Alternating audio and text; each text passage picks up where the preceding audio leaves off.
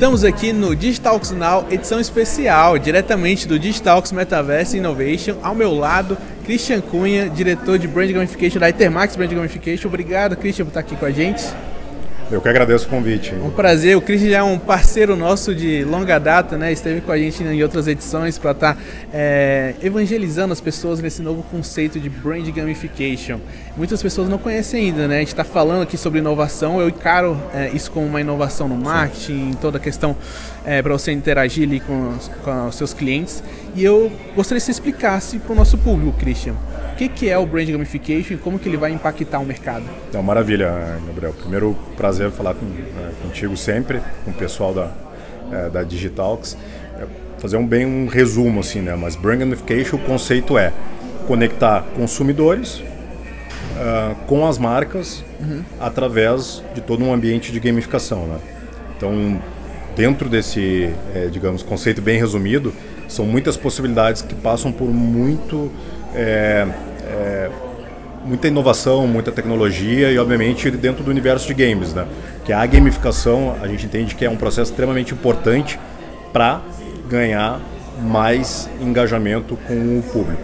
Então, o conceito de Brain Gamification ele ajuda de uma forma muito poderosa essa conexão, porque, de novo, as pessoas é, já nascem com desejo de jogar, né? Eu, sempre, eu gosto de dar um, um exemplo da, da, de uma tia-avó de 81 anos, uhum. que ela joga buraco o dia inteiro no, no, no celular. Então, é, é, ela é um público que está ali. Ela não é, quando a gente fala, ah, então é gamer. Não é somente isso.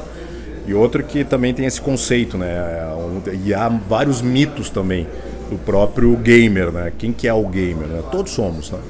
Gosto de fazer uma analogia com o que era o telespectador da, da televisão no, no, passado. Hoje nem se fala mais, porque todo mundo assiste a algum hum. programa de televisão. Então o gamer é a mesma coisa, todos jogam algum tipo de jogo. Talvez uns mais hardcore, que são aqueles que ficam mais tempo é, jogando num computador, num console, é, e os mais casuais que jogam muito nas plataformas de smartphones. Se bem que também muitos jogos foram desenvolvidos mais leves para poderem é, ter um, uma boa jogabilidade também é, nos smartphones e fizeram também que o público, essa audiência hardcore também estivesse fazendo parte Sim, das plataformas, né? mais acessível. Né? E obviamente que aí é um, é um é excelente momento para a marca é, engajar com a audiência. Um porquê? Tem uma todos os desenvolvedores de, de, games têm uma tecnologia por detrás é, e obviamente eles têm o conhecimento de quem está ali. Né?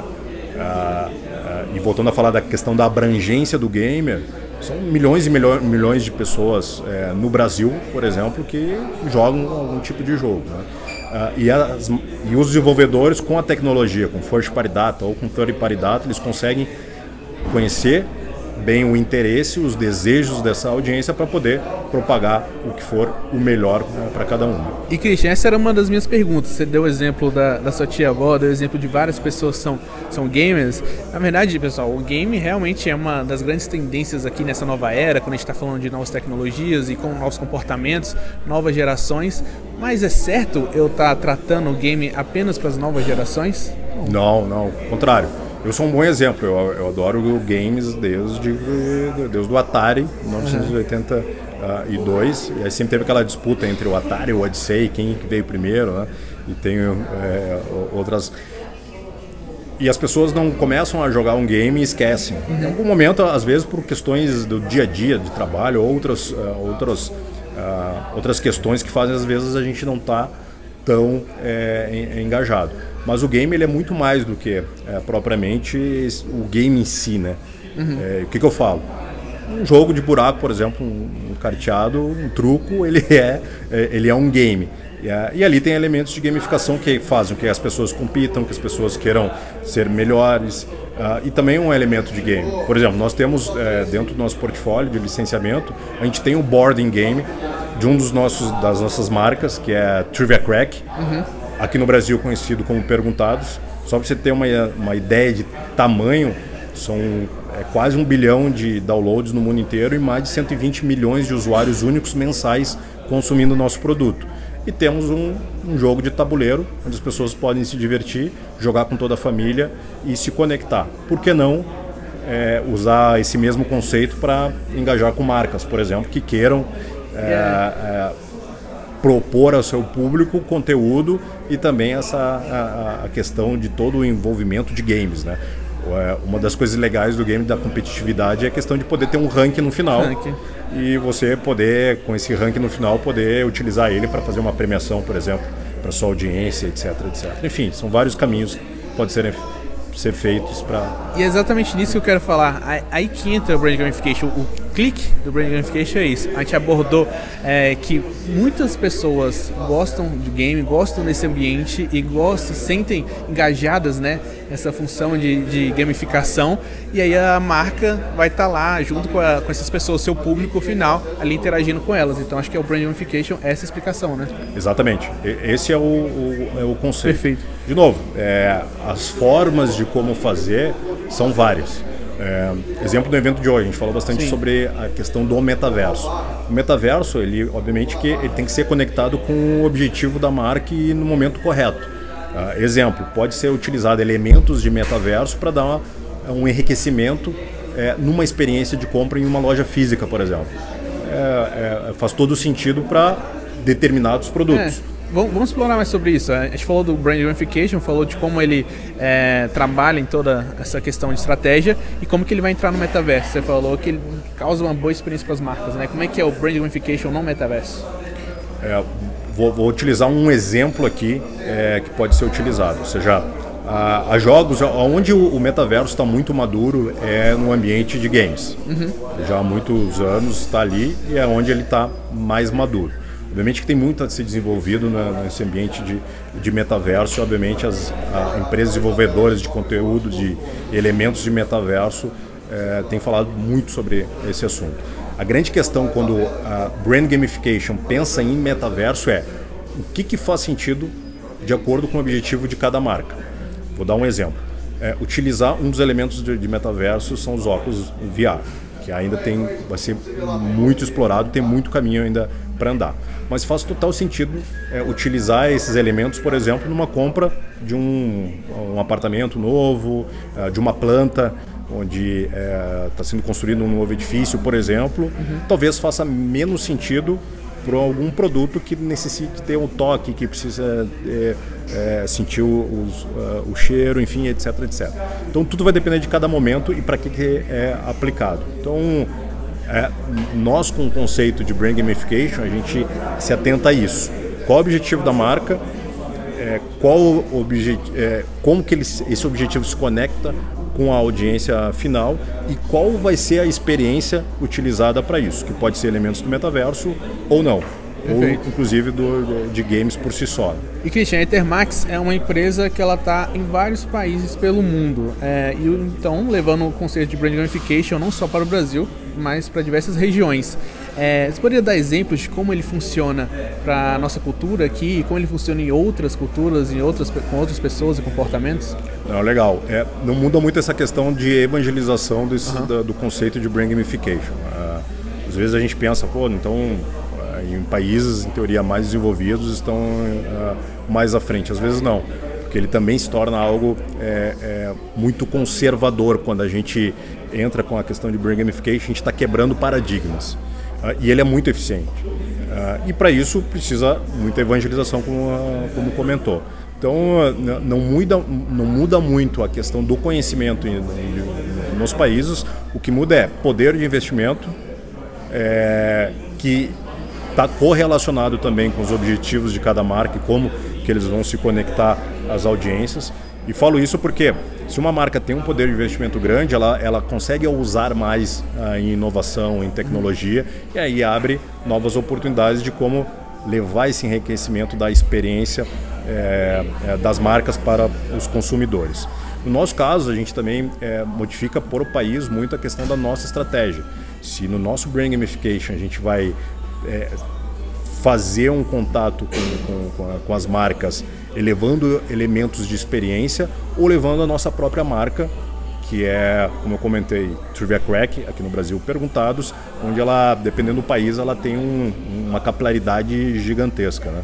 É, exemplo dos Estados Unidos, a gente já teve pico de uma audiência de 25 milhões de usuários únicos diários. Isso aí é, é é, é, é, algo absurdo. E aqui no Brasil também é um país onde a gente tem uma audiência muito grande. Muitas pessoas já tiveram essa conexão com o produto. Né?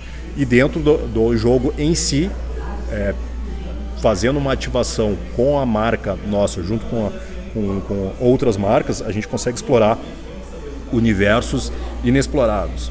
É, exemplo, é, ele serve como uma fonte de pesquisa, inclusive. Sim. Aqui no Brasil, por exemplo, se a gente fizer uma pesquisa com consumidores que tem uma cobertura de 10, 20 mil pessoas, já é uma pesquisa gigantesca. É? A gente consegue fazer tranquilamente em 30 dias uma pesquisa de 100 mil pessoas que elas não estão jogando, por exemplo, um jogo de futebol ou estão num evento e você vai lá e começa a fazer perguntas para as pessoas. É, não, você já entrou num jogo que é para responder perguntas, né? Então, tudo que tiver trazendo de insights de, de, dessa audiência, ele tem uma, é, um poder muito grande, é, porque ele já está fazendo isso com uma aceitação é, prévia. Né? Então, também se torna como uma, é, uma experiência diferenciada e com informações muito robustas é, para as marcas. Né? Dando só um dos exemplos que, que, que pode ser feito. Né? Então, depende muito da, da, da estratégia de cada país versus a audiência poder de investimento e etc, etc. Bom, Cristian, obrigado bastante aqui pela conversa, pelo papo. Acho que você deu para todo mundo entender bem o que é o Brand Gamification, como é que ele vai estar tá no metaverso, como é que ele se insere. É, na verdade, acho que quer falar um pouco sobre novas tecnologias, como é que elas afetam essa questão da publicidade? A gente está tendo é, inteligência artificial entrando no, no meio, está vendo questões de, é, do próprio metaverso. Como que essas outras tecnologias estão afetando aí o, o futuro da publicidade? Na realidade, é, ele, ele afeta de forma positiva, porque ele dá muito mais oportunidades. É, vamos olhar um pouquinho no passado, né? A publicidade, as marcas, elas dependiam muito da televisão, dos jornais, da, das revistas. E hoje, quantidade infinita de sites, de blogs, de, é, de plataformas, é, como TikTok, é, Instagram e etc, etc. Isso não vai parar de, de crescer. Então ele está se, torna, tá se tornando cada vez mais democrático. A questão é que aí sim é um desafio, é as marcas entenderem o que de inovação, o que de tecnologia faz sentido para o momento dela, momento dela e como isso realmente vai engajar com a sua audiência. Uhum. Porque, é, e aí, obviamente, que é uma questão de marketing, de como realmente conhecer o seu consumidor ou aquele consumidor que ele quer fazer uma aproximação. Isso é um desafio, com certeza, que as marcas precisam entender. Então não é, é muitas vezes a gente escuta, ah, eu quero fazer um game. Calma, será que fazer um game do zero é a melhor solução? Ou utilizar já de elementos onde já tem uma capilaridade, é, que jogos que já tem uma capilaridade gigante, e aí eu não preciso colocar um investimento em aquisição de usuário, e sim poder ter algo nativo dentro dos jogos. Né? É, ter nativo dentro dos jogos é, é ter um, um, jogo de carro, por exemplo, e ter a marca lá em outdoors é, no momento que o carro está indo na estrada, dando um exemplo prático aqui. Enfim, então tem muita coisa interessante. É, a dica sempre é né, entender um pouco dessas tecnologias mais a fundo é, e entender o momento correto de fazer a aplicação e quanto que isso tem tanto de capilaridade ou que tenha realmente é, uma eficiência em termos de mensuração. Perfeito. Porque eficiência é a palavra da vez, cada vez vai ser maior a necessidade de todo investimento que é feito ter um retorno concreto e poder é, medir isso. Maravilha. Christian, muito obrigado. É, vou deixar um tempo aqui para você dar um recado final para a audiência. Oh, legal. É, quem quiser saber um pouco mais sobre uh, Ethermax Brand Gamification ou sobre os conceitos de Brand Gamification, pode nos procurar através é, do nosso LinkedIn, é Ethermax, ou através da ethermaxbrandgamification.com. Uh, uh, lá tem os nossos contatos, etc, etc. Ou me procurar, também vou estar é, é, sempre disposto aí a ajudar, porque é um tema que eu, eu gosto muito e, e, vejo que tem uma, e, e, vejo que tem uma necessidade do mercado de conhecer mais a fundo. Né? Uma das grandes tendências em termos profissionais, por exemplo, é a posição é, da pessoa responsável do universo de games dentro de agências ou de grandes corporações, etc, etc. Eu costumo dizer, não é questão do game em si, é mais amplo do que isso, é gamificação. Então, que muitas vezes vai partir de um game, sim, mas tem outros elementos como o próprio metaverso e outras tecnologias que dentro do conceito de gamificação, ele vai trazer um resultado é, melhor. Né? E aí precisa buscar é, esse é, conhecimento de todas as formas. Tá? Então, contem conosco. Perfeito, obrigado. Obrigado a você, acompanhante, até aqui. Até a próxima.